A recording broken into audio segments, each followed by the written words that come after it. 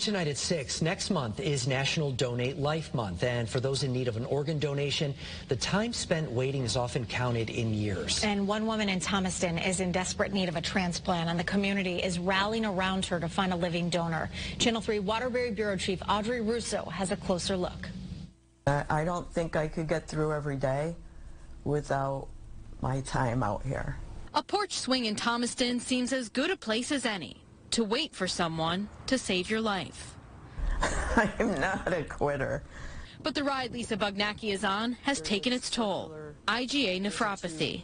It damages the filters of the kidney. She needs a kidney transplant after learning the donation she got from her ex-husband didn't take. I've been in rejection all along. Lisa says with her medical background that her options for a match are limited. 5% of the population. Do you know roughly how many people in Connecticut are waiting for a kidney? There's actually 950 people. And the chief of transplant surgery at Hartford Hospital says the odds of getting a kidney from an altruistic stranger are slim. And we probably have people come in like that maybe um, seven or eight times a year. Less than half will actually be suitable. Yeah, you can sit wherever you'd like. Cue the corner diner, Rosie's. What would you like to drink? Where an order of food comes with a request on Lisa's behalf.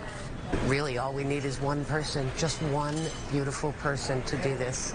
And much like her beloved swing, the relationship between Lisa and Rosie's is a bit of a back and forth. Lisa's dialysis treatments leave her too tired to cook. So I've been doing their deliveries.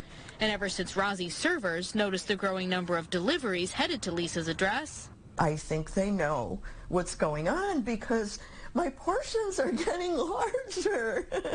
yes, yes. Um, extra fries, maybe a piece of cake. There's no clear end to the pendulum swing of Lisa's illness, but the community support for her is rock solid. They, they don't want to see you give up. It's touching.